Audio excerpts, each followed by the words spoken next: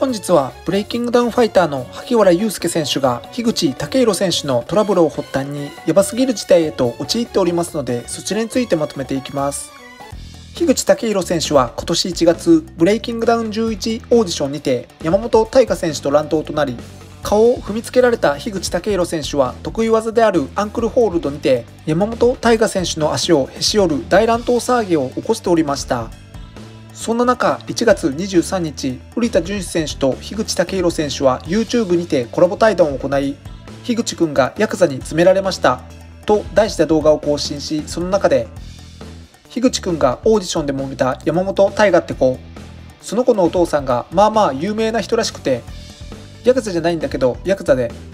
実は俺はそのお父さんとつながってブレイキングダウンに乗り込むぞって言われていて、そのお父さんが樋口くんとお話がしたいって言ってるから電話をしてもいいかな？などと語り我流慎吾氏に電話をかけると我流慎吾氏は樋口武宏選手に対してうちの大河が歯を折っちゃってごめんな。でもよあの場面でセキュリティが大河を抑えていたのにお前は大河の足を潰したよな。セキュリティが大河を抑えているのに関節技を決めるのはいけねえだろ。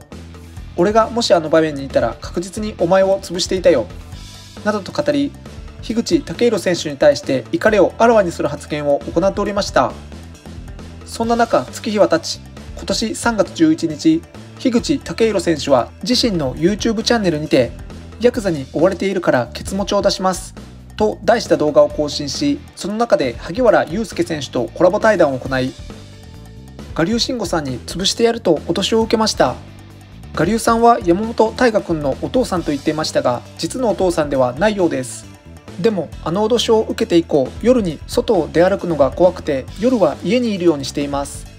いつ闇討ちされるのかもわからないので本当に怖いです。精神的にも本当に辛いです。僕のケツ持ちとして萩原祐介さんヤクザから僕を助けてください。などと萩原祐介選手に助けを求めるとこの助けに対して萩原祐介選手はガリュウさんはキックボクシングでもチャンピオンになっててただのチンピラではないみたいだね。潰してやるぞって言われていたけどあれは完全に落としだよな。ガリュウさんがブレイキングダウンのオーディションに来たら面白いけどそしたら俺もオーディションに行くよ。山本大河君も保護者であるガリュウさんが出てきたんでしょ。じゃあこっちも樋口の保護者である俺が出るべきでしょガリュウさんこの YouTube を見てるはずだからアンサーよろしく。などと語り我流慎吾選手から脅しを受けた樋口武宏選手は自分が守るとして我流慎吾選手に対してもアンサーを出すよう訴えかけるとこの萩原祐介選手の発言に対して我流慎吾選手は自身の YouTube チャンネルにて樋口のケツ持ちの萩原君俺のことが許せねえとかオーディションに来いよとかとりあえず試合とかどうでもよくてオーディションに行ってやるからあそこで試合とかできるんだよな。萩原祐介お前と殴り合ってやるからよ。ノーガードで殴り合えやこの野郎。大河とは血は繋がってねえけどうちの事務生で息子のようなもんなんだよ。大河とは特に色々とあって一緒に暮らしてってこともあるし自分の子供だと思ってるんだよ。だからそんな自分の息子があんなやられ方したら黙ってるわけがねえだろ